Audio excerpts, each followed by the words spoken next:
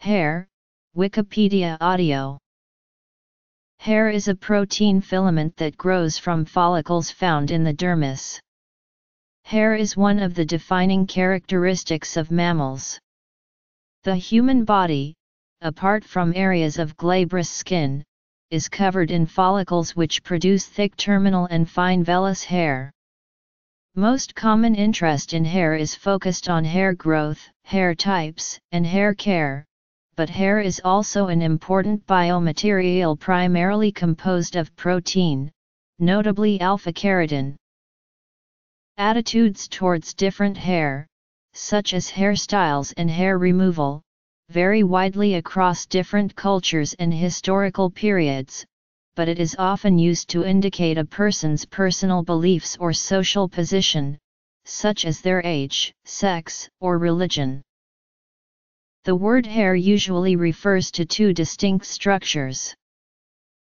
Overview Hair fibers have a structure consisting of several layers, starting from the outside. Each strand of hair is made up of the medulla, cortex, and cuticle. The innermost region, the medulla, is not always present and is an open, unstructured region. The highly structural and organized cortex, or second of three layers of the hair, is the primary source of mechanical strength and water uptake. The cortex contains melanin, which colors the fiber based on the number, distribution, and types of melanin granules. The shape of the follicle determines the shape of the cortex, and the shape of the fiber is related to how straight or curly the hair is. People with straight hair have round hair fibers. Oval and other shaped fibers are generally more wavy or curly. The cuticle is the outer covering. Its complex structure slides as the hair swells and is covered with a single molecular layer of lipid that makes the hair repel water. The diameter of human hair varies from 0.017 to 0.18 mm. There are 2 million small, tubular glands and sweat glands that produce watery fluids that cool the body by evaporation. The glands at the opening of the hair produce a fatty secretion that lubricates the hair. Type 1 is straight hair, which reflects the most sheen and also the most resilient hair of all of the hair types. It is hard to damage and immensely difficult to curl this hair texture. Because the sebum easily spreads from the scalp to the ends without curls or kinks to interrupt its path, it is the most oily hair texture of all. Type 2 is wavy hair, whose texture and sheen ranges somewhere between straight and curly hair. Wavy hair is also more likely to become frizzy than straight hair. While type A waves can easily alternate between straight and curly styles, type B and C wavy hair is resistant to styling. Type 3 is curly hair known to have an S shape. The curl pattern may resemble a lowercase s, uppercase s, or sometimes an uppercase z or lowercase z. This hair type is usually voluminous, climate dependent, and damage prone. Lack of proper care causes less defined curls. Type 4 is kinky hair, which features a tightly coiled curl pattern that is often fragile with a very high density. This type of hair shrinks when wet and because it has fewer cuticle layers than other hair types it is more susceptible to damage. Hair growth begins inside the hair follicle. The only living portion of the hair is found in the follicle. The hair that is visible is the hair shaft, which exhibits no biochemical activity and is considered dead. The base of a hair's root contains the cells that produce the hair shaft. Other structures of the hair follicle include the oil-producing sebaceous gland which lubricates the hair and the erector pili muscles, which are responsible for causing hairs to stand up. In humans with little body hair, the effect results in goosebumps. The root of the hair ends in an enlargement, the hair bulb, which is whiter in color and softer in texture than the shaft, and is lodged in a follicular involution of the epidermis called the hair follicle. Bulb of hair layers consist of fibrous connective tissue, glassy membrane, external root sheath, internal root sheath composed of epithelium stratum and granular stratum, cuticle, cortex, and medulla of hair. All natural hair colors are the result of two types of hair pigments. Both of these pigments are melanin types, produced inside the hair follicle and packed into granules found in the fibers. Eumelanin is the dominant pigment in brown hair and black hair, while pheomelanin is dominant in red hair. Blonde hair is the result of having little pigmentation in the hair strand. Gray hair occurs when melanin production decreases or stops, while poliosis is hair, typically in spots, that never possessed melanin at all in the first place, or ceased for natural genetic reasons, generally, in the first years of life. Hair grows everywhere on the external body except for mucous membranes and glabrous skin, such as that found on the palms of the hands, soles of the feet, and lips. Hair follows a specific growth cycle with three distinct and concurrent phases, anagen, catagen, and telogen phases, all three occur simultaneously, while one strand of hair may be in the anagen phase, another may be in the telogen phase. Each has specific characteristics that determine the length of the hair. The body has different types of hair, including vellus hair and androgenic hair, each with its own type of cellular construction. The different construction gives the hair unique characteristics, serving specific purposes, mainly, warmth and protection. Hair exists in a variety of textures. Three main aspects of hair texture are the curl pattern, volume, and consistency. The derivations of hair texture are not fully understood. All mammalian hair is composed of keratin, so the makeup of hair follicles is not the source of varying hair patterns. There are a range of theories pertaining to the curl patterns of hair. Scientists have come to believe that the shape of the hair shaft has an effect on the curliness of the individual's hair. A very round shaft allows for fewer disulfide bonds to be present in the hair strand. This means the bonds present are directly in line with one another, resulting in straight hair.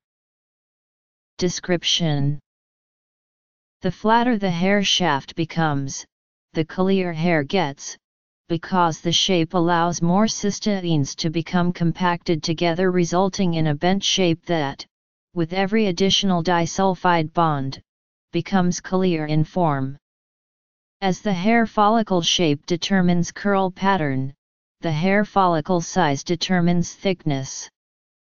While the circumference of the hair follicle expands, so does the thickness of the hair follicle. An individual's hair volume, as a result, can be thin, normal, or thick. The consistency of hair can almost always be grouped into three categories fine, medium, and coarse. This trait is determined by the hair follicle volume and the condition of the strand. Fine hair has the smallest circumference, coarse hair has the largest circumference, and medium hair is anywhere between the other two. Coarse hair has a more open cuticle than thin or medium hair causing it to be the most porous. There are various systems that people use to classify their curl patterns. Being knowledgeable of an individual's hair type is a good start to knowing how to take care of one's hair. There is not just one method to discovering one's hair type. Additionally it is possible, and quite normal to have more than one kind of hair type, for instance having a mixture of both type 3A and 3B curls. This hair typing system is the most widely used system to classify hair. The system was created by the hairstylist of Oprah Winfrey, Andre Walker. According to this system there are four types of hair, straight, wavy, curly, kinky. This is a method which classifies the hair by curl pattern, hair strand thickness, and overall hair volume. Curliness Strands Thin strands that sometimes are almost translucent when held up to the light. Shed strands can be hard to see even against a contrasting background, similar to hair found on many people of Scandinavian descent. You can also try rolling a strand between your thumb and index finger. Fine hair is difficult to feel or it feels like an ultra-fine strand of silk. Root of the hair. Natural color. Strands are neither fine nor coarse, similar to hair found on many Caucasians. You can also try rolling a strand between your thumb and index finger. Medium hair feels like a cotton thread, you can feel it, but it isn't stiff or rough. It is neither fine nor coarse. Human hair growth. Texture.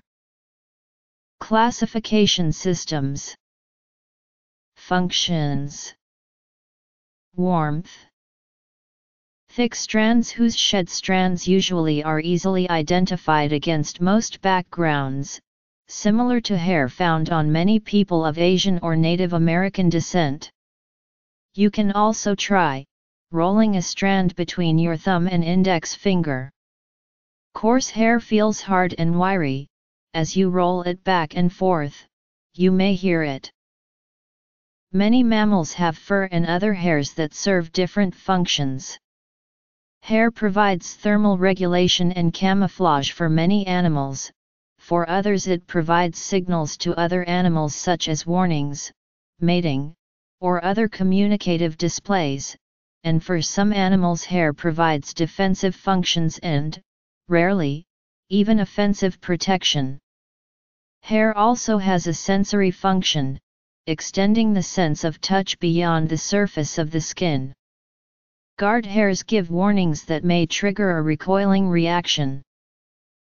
While humans have developed clothing and other means of keeping warm, the hair found on the head serves primarily as a source of heat insulation and cooling as well as protection from ultraviolet radiation exposure. The function of hair in other locations is debated. Hats and coats are still required while doing outdoor activities in cold weather to prevent frostbite and hypothermia, but the hair on the human body does help to keep the internal temperature regulated. When the body is too cold, the erector pili muscles found attached to hair follicles stand up, causing the hair in these follicles to do the same. These hairs then form a heat-trapping layer above the epidermis. This process is formally called piloerection, derived from the Latin words pilus and erectio, but is more commonly known as having goosebumps in English. This is more effective in other mammals whose fur fluffs up to create air pockets between hairs that insulate the body from the cold. The opposite actions occur when the body is too warm. The erector muscles make the hair lie flat on the skin which allows heat to leave.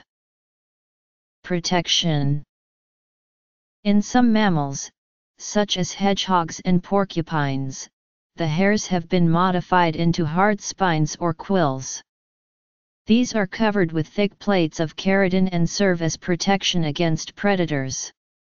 Thick hair such as that of the lion's mane and grizzly bear's fur do offer some protection from physical damages such as bites and scratches.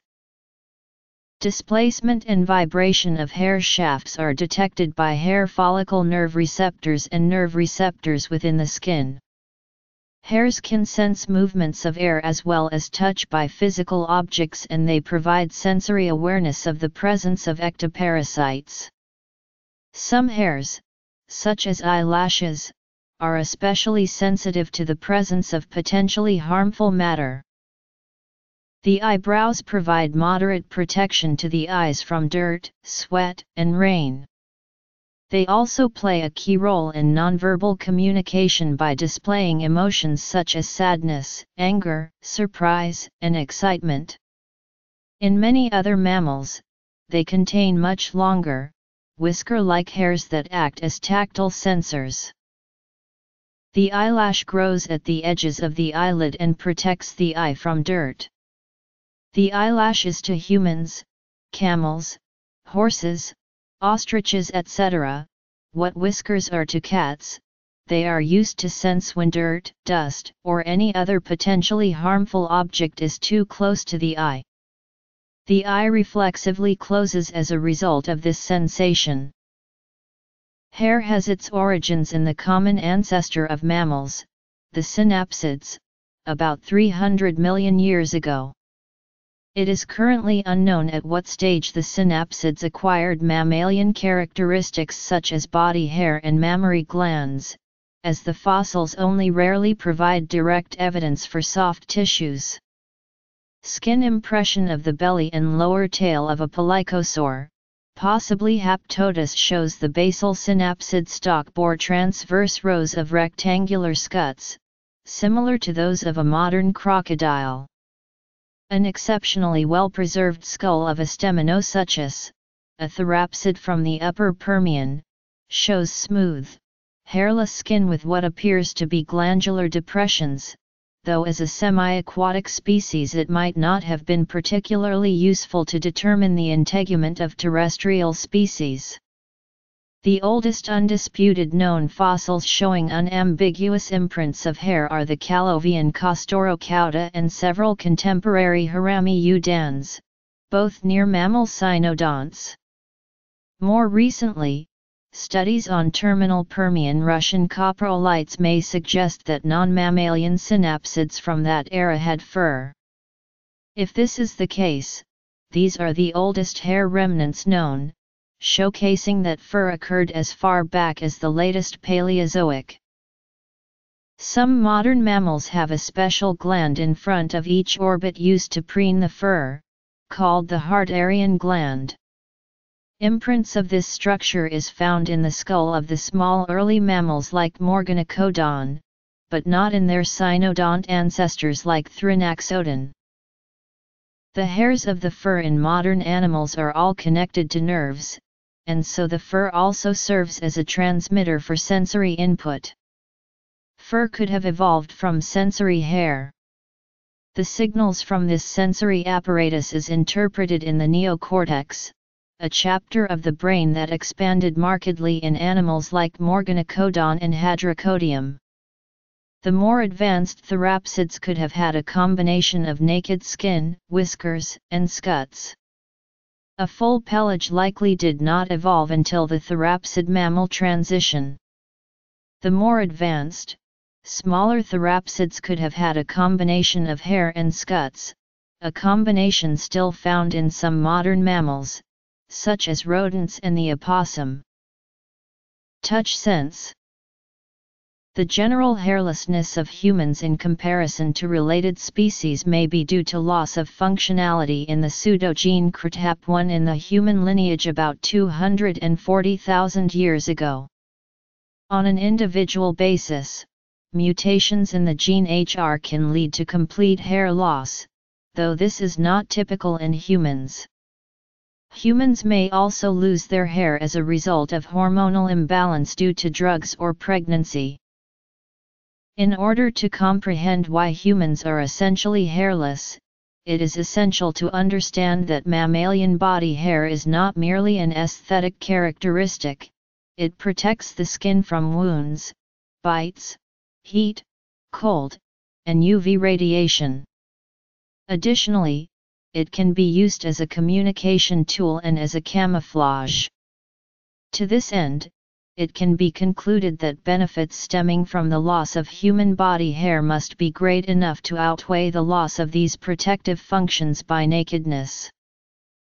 Eyebrows and eyelashes Humans are the only primate species that have undergone significant hair loss and of the approximately 5,000 extant species of mammal, only a handful are effectively hairless. This list includes elephants, rhinoceroses, hippopotamuses, walruses, some species of pigs, whales and other cetaceans, and naked mole rats. Most mammals have light skin that is covered by fur, and biologists believe that early human ancestors started out this way also. Dark skin probably evolved after humans lost their body fur, because the naked skin was vulnerable to the strong UV radiation as explained in the out of Africa hypothesis. Therefore, evidence of the time when human skin darkened has been used to date the loss of human body hair, assuming that the dark skin was needed after the fur was gone. It was expected that dating the split of the ancestral human louse into two species, the head louse and the pubic louse, would date the loss of body hair in human ancestors. However, it turned out that the human pubic louse does not descend from the ancestral human louse, but from the gorilla louse, diverging 3.3 million years ago. This suggests that humans had lost body hair and developed thick pubic hair prior to this date, were living in or close to the forest where gorillas lived, and acquired pubic lice from butchering gorillas or sleeping in their nests. The evolution of the body louse from the head louse, on the other hand, places the date of clothing much later, some 100,000 years ago. The sweat glands in humans could have evolved to spread from the hands and feet as the body hair changed, or the hair change could have occurred to facilitate sweating. Horses and humans are two of the few animals capable of sweating on most of their body, yet horses are larger and still have fully developed fur. In humans, the skin hairs lie flat in hot conditions, as the erector pili muscles relax, preventing heat from being trapped by a layer of still air between the hairs, and increasing heat loss by convection. Evolution Human hairlessness Evolutionary variation Another hypothesis for the thick body hair on humans proposes that Fisherian runaway sexual selection played a role, as well as a much larger role of testosterone in men. Sexual selection is the only theory thus far that explains the sexual dimorphism seen in the hair patterns of men and women. On average, men have more body hair than women. Males have more terminal hair, especially on the face, chest, abdomen, and back, and females have more vellus hair, which is less visible. The halting of hair development at a juvenile stage, vellus hair, would also be consistent with the neoteny evident in humans, especially in females, and thus they could have occurred at the same time. This theory, however, has significant holdings in today's cultural norms. There is no evidence that sexual selection would proceed to such a drastic extent over a million years ago when a full, lush coat of hair would most likely indicate health and would therefore be more likely to be selected for, not against, and not all human populations today have sexual dimorphism in body hair. A further hypothesis is that human hair was reduced in response to ectoparasites. The ectoparasite explanation of modern human nakedness is based on the principle that a hairless primate would harbor fewer parasites. When our ancestors adopted group-dwelling social arrangements roughly 1.8 Maya, ectoparasite loads increased dramatically.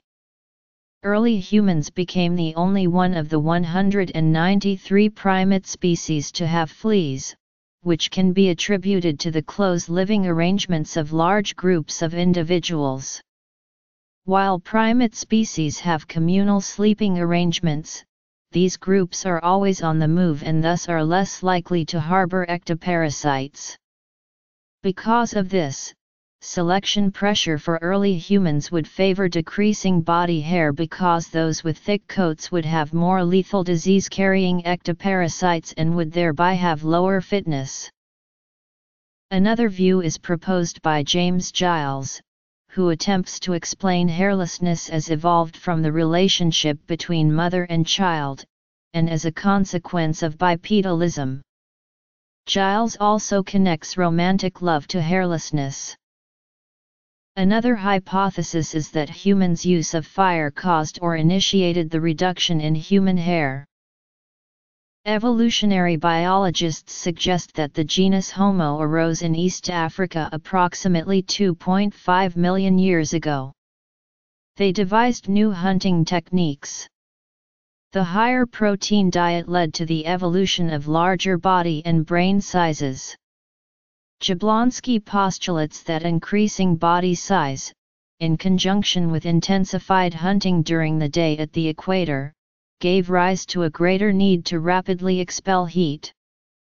As a result, humans evolved the ability to sweat, a process which was facilitated by the loss of body hair. A major problem with this theory, however, is that it does not explain why males are larger, hairier, and were more active in hunting than females.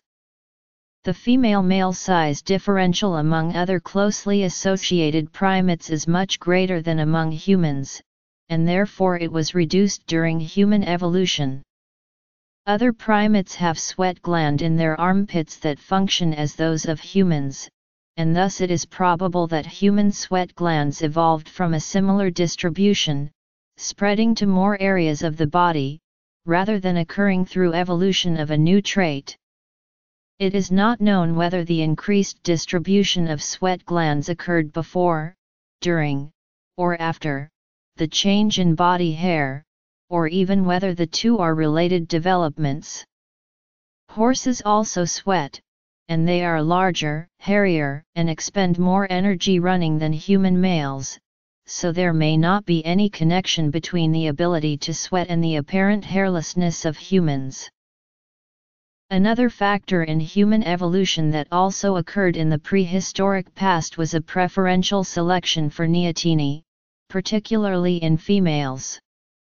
The idea that adult humans exhibit certain neotenous features, not evinced in the great apes, is about a century old.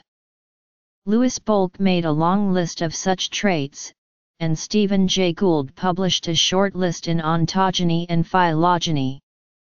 In addition, pedomorphic characteristics in women are often acknowledged as desirable by men in developed countries.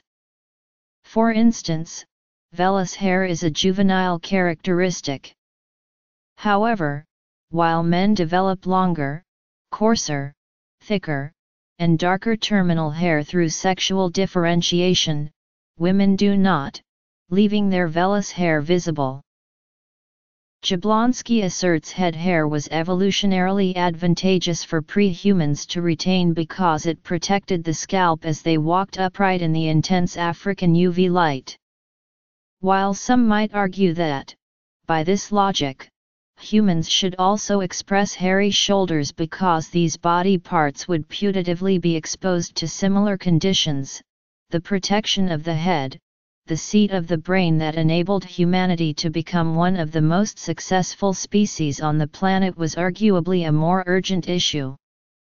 Sometime during the gradual process by which Homo erectus began a transition from furry skin to the naked skin expressed by Homo sapiens, hair texture putatively gradually changed from straight hair to afro-textured hair or kinky. This argument assumes that curly hair better impedes the passage of UV light into the body relative to straight hair. It is substantiated by Iyengar's findings that UV light can enter into straight human hair roots via the hair shaft. Specifically, the results of that study suggest that this phenomenon resembles the passage of light through fiber optic tubes.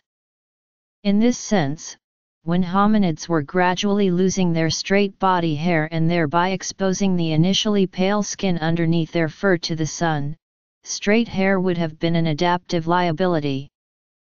By inverse logic, later, as humans traveled farther from Africa and slash or the equator, straight hair may have evolved to aid the entry of UV light into the body during the transition from dark, UV-protected skin to paler skin.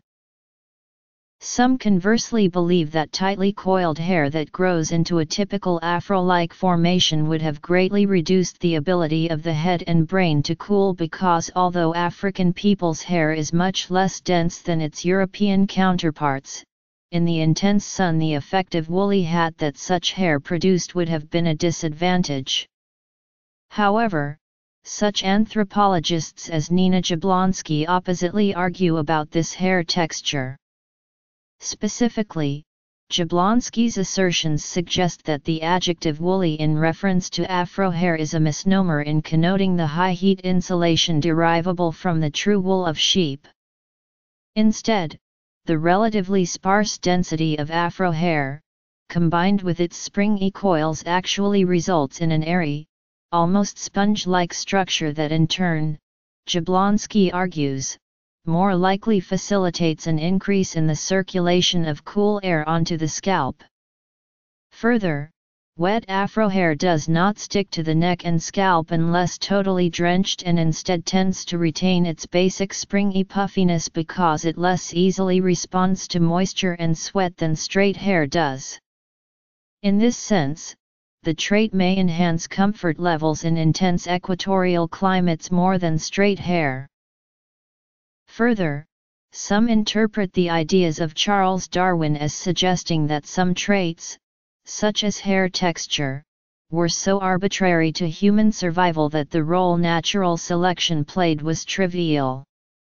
Hence, they argue in favor of his suggestion that sexual selection may be responsible for such traits.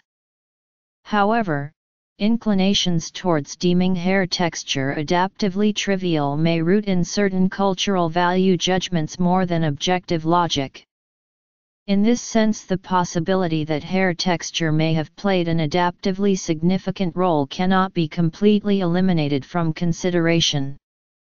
In fact, while the sexual selection hypothesis cannot be ruled out, the asymmetrical distribution of this trait vouches for environmental influence.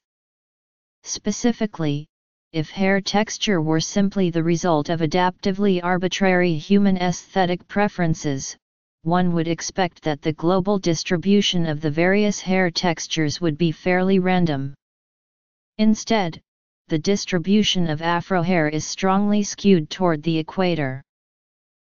Further, it is notable that the most pervasive expression of this hair texture can be found in sub-Saharan Africa, a region of the world that abundant genetic and paleoanthropological evidence suggests, was the relatively recent point of origin for modern humanity.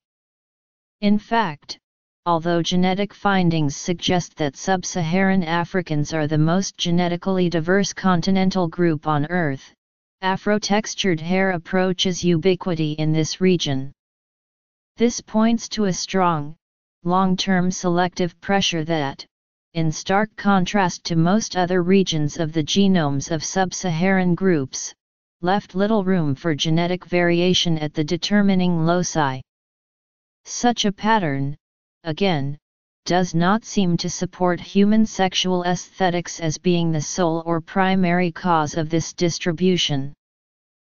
A group of studies have recently shown that genetic patterns at the EDAR locus, a region of the modern human genome that contributes to hair texture variation among most individuals of East Asian descent, support the hypothesis that straight hair likely developed in this branch of the modern human lineage subsequent to the original expression of tightly coiled natural afro hair.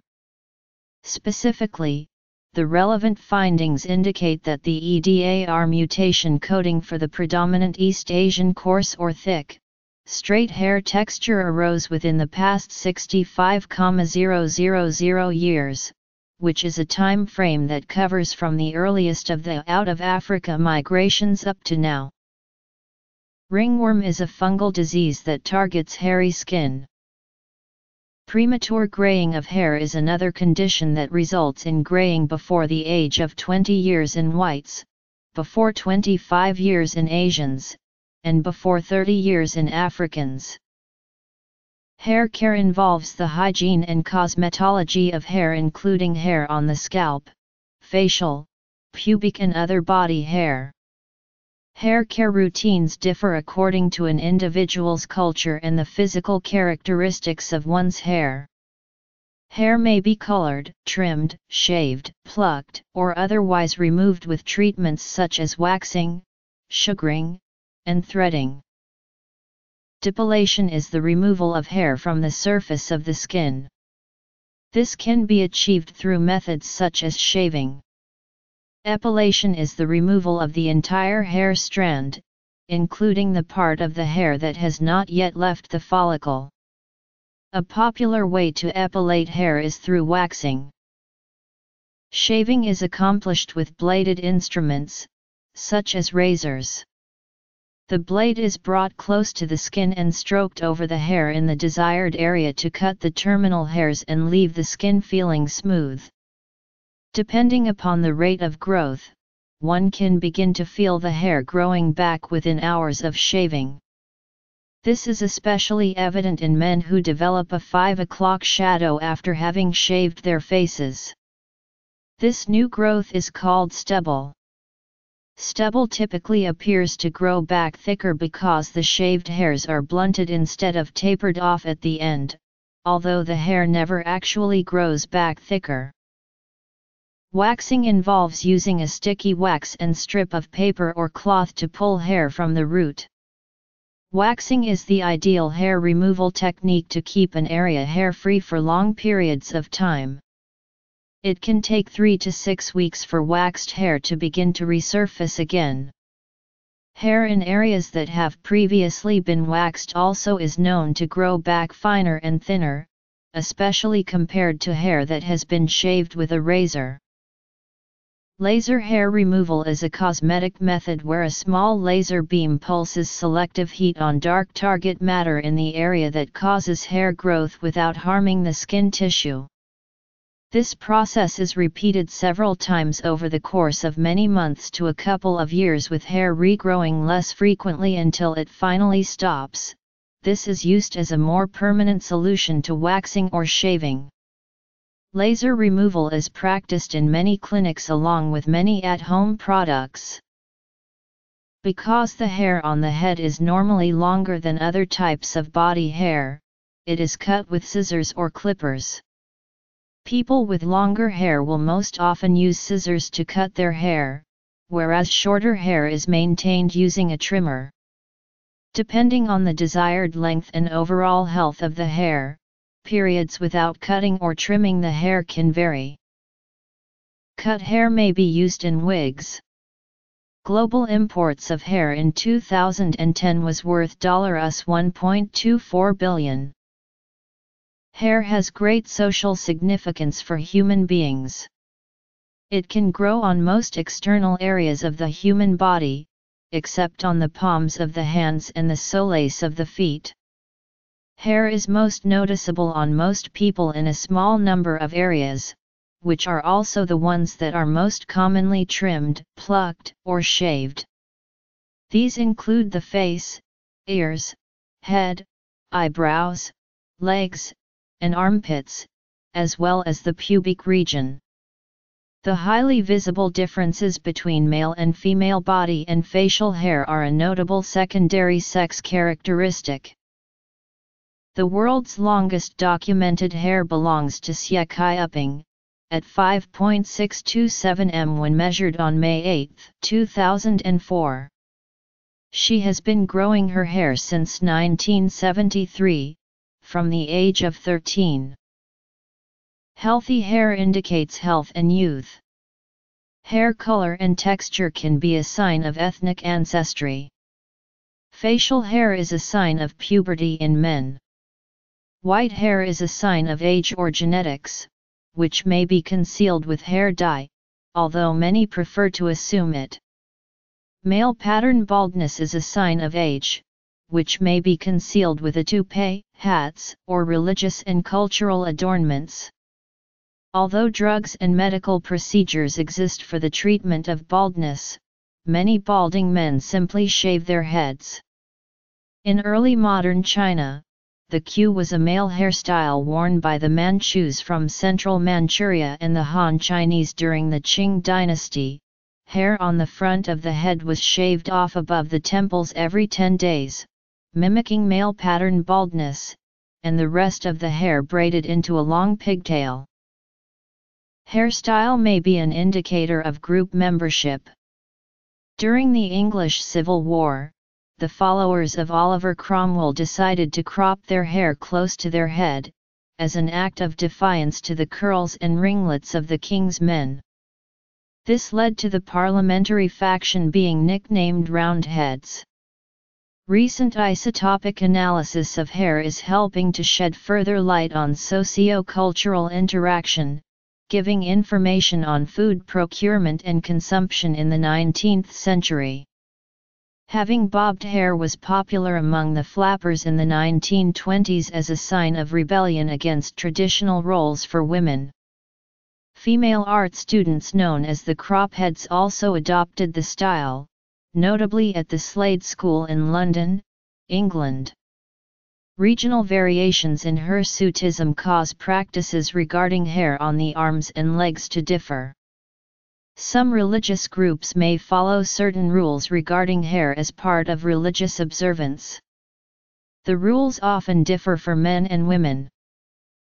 Many subcultures have hairstyles which may indicate an unofficial membership. Many hippies, metalheads, and Indian sadhus have long hair, as well many older indie kids. Many punks wear a hairstyle known as a mohawk or other spiked and dyed hairstyles. Skinheads have short cropped or completely shaved heads. Long stylized bangs were very common for emos, scene kids, and younger indie kids in the 2000s and early 2010s, among people of both genders. Heads were shaved in concentration camps, and head shaving has been used as punishment, especially for women with long hair. The shaven head is common in military haircuts, while Western monks are known for the tonsure. By contrast, among some Indian holy men, the hair is worn extremely long. In the time of Confucius, the Chinese grew out their hair and often tied it, as a symbol of filial piety. Regular hairdressing in some cultures is considered a sign of wealth or status. The dreadlocks of the Rastafari movement were despised early in the movement's history. In some cultures, having one's hair cut can symbolize a liberation from one's past, usually after a trying time in one's life. Cutting the hair also may be a sign of mourning. Tightly coiled hair in its natural state may be worn in an afro. This hairstyle was once worn among African Americans as a symbol of racial pride. Given that the coiled texture is the natural state of some African Americans' hair, or perceived as being more African, this simple style is now often seen as a sign of self-acceptance and an affirmation that the beauty norms of the dominant culture are not absolute. It is important to note that African Americans as a whole have a variety of hair textures, as they are not an ethnically homogeneous group, but an ad hoc of different racial admixtures. The film Easy Rider includes the assumption that the two main characters could have their long hairs forcibly shaved with a rusty razor when jailed, symbolizing the intolerance of some conservative groups toward members of the counterculture. At the conclusion of the ounce obscenity trials in the UK in 1971, the defendants had their heads shaved by the police, causing public outcry. During the appeal trial, they appeared in the dock wearing wigs. A case where a 14-year-old student was expelled from school in Brazil in the mid-2000s, allegedly because of his faux hawk haircut, sparked national debate and legal action resulting in compensation. Women's hair may be hidden using headscarves, a common part of the hijab in Islam and a symbol of modesty required for certain religious rituals in Eastern Orthodoxy. Russian Orthodox Church requires all married women to wear headscarves inside the church. This tradition is often extended to all women, regardless of marital status. Orthodox Judaism also commands the use of scarves and other head coverings for married women for modesty reasons. Certain Hindu sects also wear headscarves for religious reasons. Sikhs have an obligation not to cut hair and men keep it tied in a bun on the head, which is then covered appropriately using a turban. Multiple religions, both ancient and contemporary, require or advise one to allow their hair to become dreadlocks, though people also wear them for fashion. For men, Islam, Orthodox Judaism, Orthodox Christianity, Roman Catholicism, and other religious groups have at various times recommended or required the covering of the head and sections of the hair of men, and some have dictates relating to the cutting of men's facial and head hair. Some Christian sects throughout history and up to modern times have also religiously proscribed the cutting of women's hair. For some Sunni madhabs, the donning of a kufi or topi is a form of sunnah. Texture 2 Curly hair. The EDAR locus. Disease. Hair care. Removal practices Shaving Waxing Laser removal Cutting and trimming. Social role. Indication of status. Religious practices. Notes. Bibliography